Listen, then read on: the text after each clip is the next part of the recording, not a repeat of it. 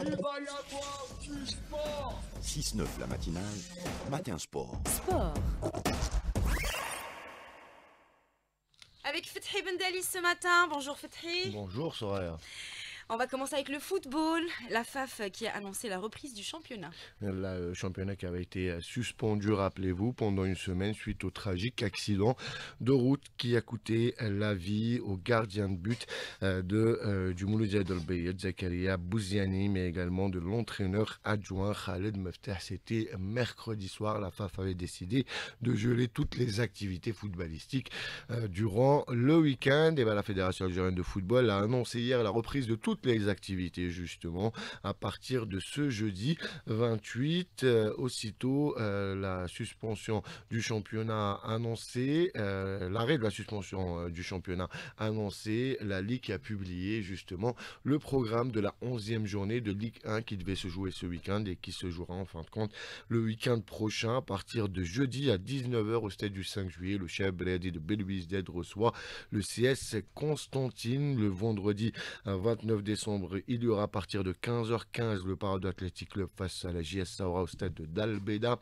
l'USM Khenchla qui reçoit la SO Shlefar et le Nejm de Magra face à l'Union sportive de Sousse euh, de Souf à Magra. Il y aura à 16h l'entente de Sétif face au Mouloudia d'Oran et le derby tant attendu au stade du 5 juillet entre l'USM Alger et le Mouloudia d'Alger. Ça sera le vendredi 29 décembre à 18h à 18h05.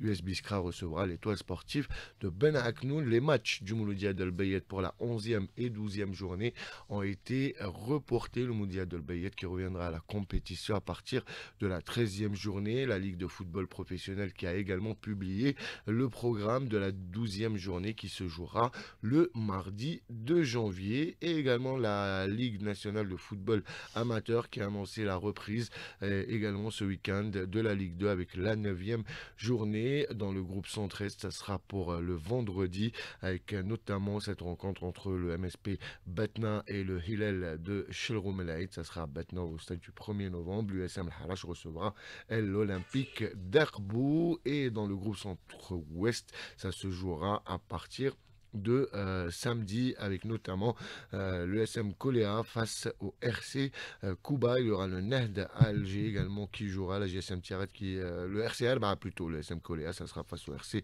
Alba et la GSM Tiaret recevra le RC Kuba à.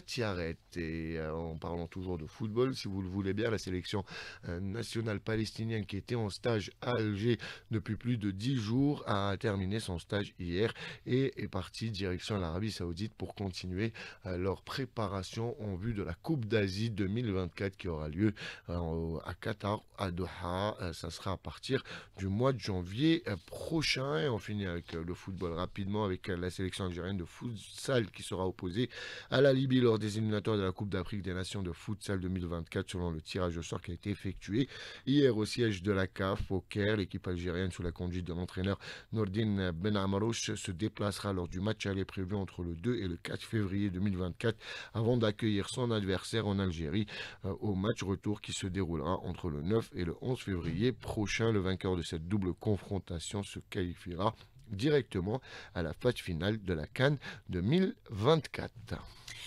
Et on va passer euh, au cyclisme avec l'Algérie euh, qui est championne euh, arabe à Riyad. L'Algérie qui a récolté encore 4 médailles hier pour lors de l'ultime journée pour finir en fin de compte championne arabe. La sélection nationale de cyclisme qui a réalisé de superbes championnats donc à Riyad en Arabie saoudite et qui aura comme objectif bien évidemment de continuer à préparer les prochaines échéances, notamment les Jeux olympiques.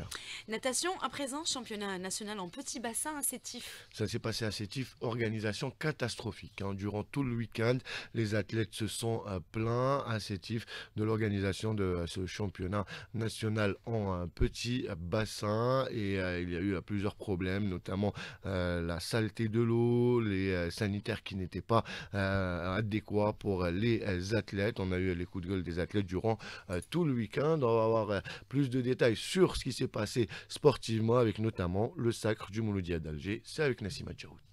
Le Mouloudia d'Alger a remporté pour la deuxième année consécutive le titre de champion d'Algérie avec 22 médailles grâce à des nageurs confirmés comme Jawed Seyoud qui a remporté à lui seul 9 médailles d'or et d'ailleurs il est le meilleur nageur chez les garçons mais aussi au nombre de points chez les féminines. La meilleure nageuse au nombre de médailles c'est sa coéquipière du Mouloudia d'Alger, Nesrine Mjed. Le titre de meilleure nageuse au nombre de points est revenu à Rania Nefsi du Shabab de Belouzdad et d'ailleurs le Shabab de Belouzdad a terminé deuxième avec 18 médailles d'or. Retour sur la consécration du Mouloudia d'Alger avec l'entraîneur principal du doyen, Mouloud Bouchendora. On a un ensemble vraiment très soudé et avec de très très bons nageurs.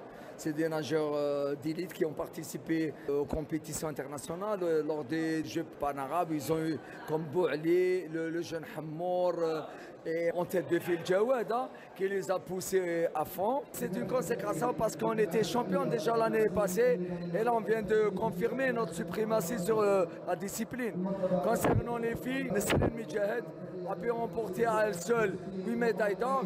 Elle était vraiment très près des records d'Algérie. Il y a Zitouni Iman et les autres filles qui se sont vraiment battues. Je suis très très content. A noter que la révélation de cette édition, c'est le club de Ouled Moussa qui a terminé à la troisième place avec 14 médailles entre médailles d'argent et médailles de bronze. Les nageurs de l'équipe nationale auront rendez-vous à partir du 10 janvier prochain jusqu'au 15 avec les championnats arabes qui sont prévus à Doha au Qatar.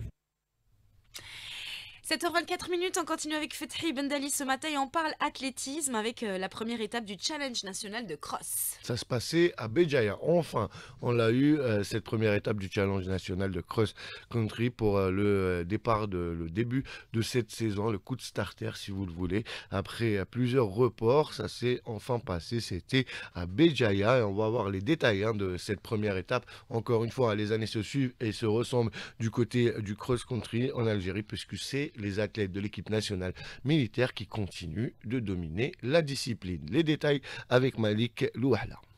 42e édition du challenge de cross-country de la Soumam a vu un doublé des athlètes du Centre national de préparation des équipes militaires sur l'épreuve phare du cross-land. Les 9 km ont donc été remportés par Hicham Bouchicha, suivi de Youssef Benkerder.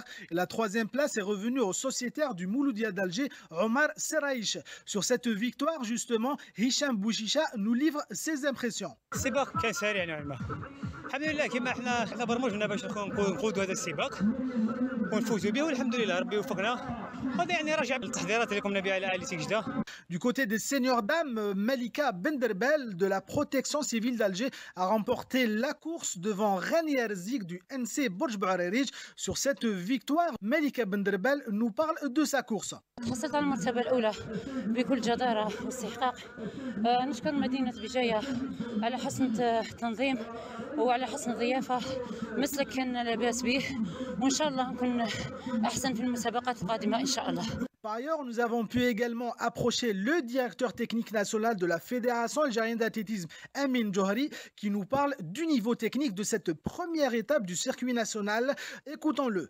Très très bon niveau, D'ailleurs, euh, on va dire nos meilleurs athlètes ont participé, surtout en senior, en junior, même en cadet. C'est des athlètes euh, pratiquement qui ont tous euh, participé à des compétitions internationales.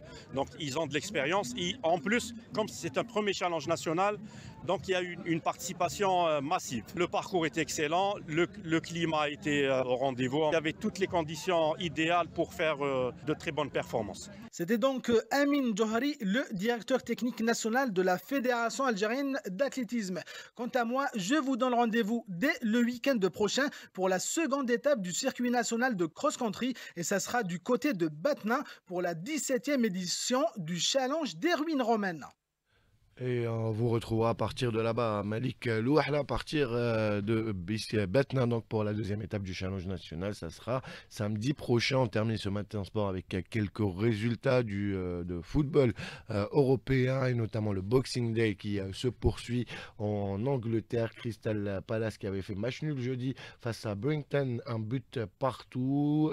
Vendredi, Aston Villa a été accroché par Sheffield et également un but partout. Hier, Manchester United a, été battu par euh, les coéquipiers de Saïd Barahma West Ham de but à 0. Euh, Belmouth qui est parti chercher une victoire à Nottingham Forest 3 buts à 2. Tottenham a battu euh, Everton de buts à 1. Newcastle a été battu à domicile par Luton Town un but à 0. Et enfin Burnley qui est parti chercher les 3 points de la victoire à Fulham de but à 0. Et le match nul entre Liverpool et Arsenal. Un but partout. Un dernier mot de football pour parler de Amola, notre euh, petit follet qui a encore inscrit un but hier dans le championnat euh, belge. Mohamed Amola avec l'Union Saint-Gillois, c'était face à Cass Yupen de buts à 1, victoire des coéquipiers de Amola, 13e but de Amola cette saison qui permet à son équipe d'être leader du championnat avec 47 points euh, et 8 points d'avance sur Anderlecht, le deuxième après 19 matchs joués.